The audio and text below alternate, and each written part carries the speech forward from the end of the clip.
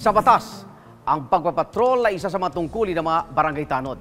Tungkulin nilang mapanatili ang kaligtasan at seguridad sa kanilang lugar.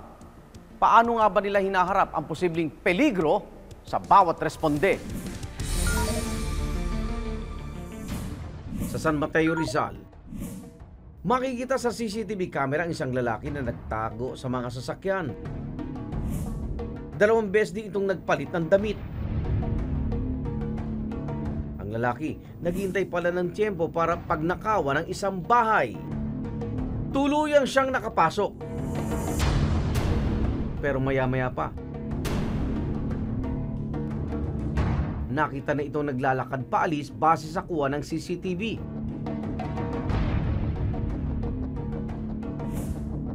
Dito na, rumesponde ang mga tanod.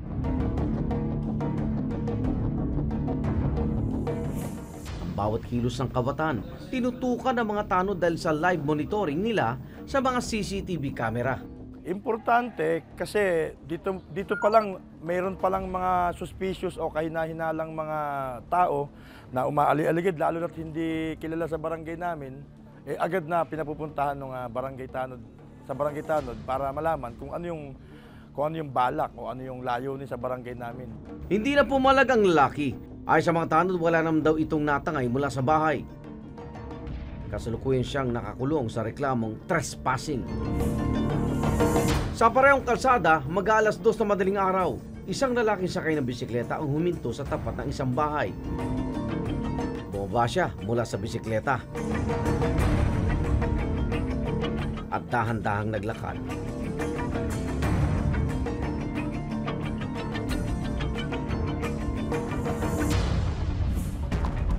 Inakyat nito ang bakod ng bahay.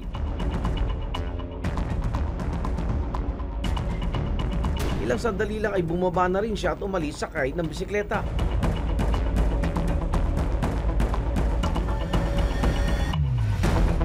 Sa sumunod na kuha ng CCTV, sumemplang ang lalaki at ang kanyang bisikleta.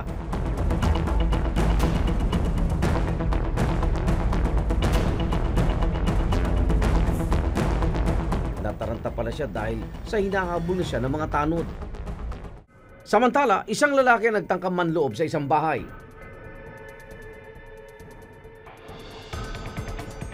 Sa tulong ng CCTV camera ng barangay, bistado ang kawatan. Si Rolando Laborna ang isa sa mga tanod na rumesponde. meron siyang panaksak, hindi nabitawan niya. Ang, yung unday niya ng panaksak, siya naman palo ko, nabitawan niya hanggang sa makalusot siya. Mabuti na lang at wala siyang tinamong pinsala. Nakatakas ang suspect. Aminado si Rolando hindi madali ang trabaho ng isang barangay tanod.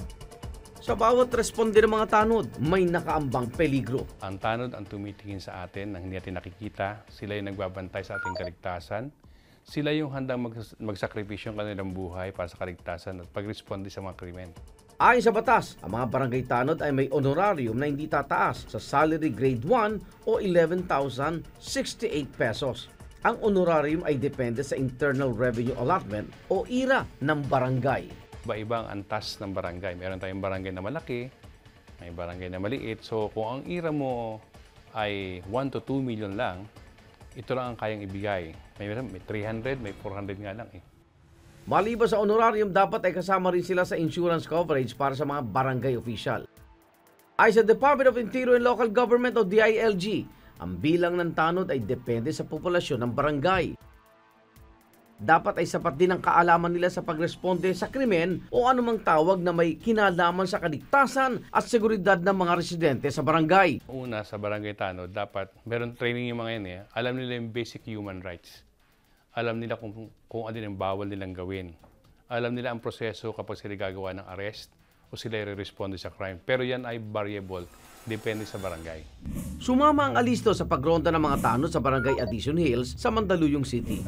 Halos isang daang libo ang populasyon ng barangay, ang pinakamalaki sa syudad. Sa laki ng populasyon, bumuo ang barangay official ng isang Special Action Force na binubuo ng apat na raan at limampung bantay bayan. Apat na beses itong nagpapatrolya sa isang linggo.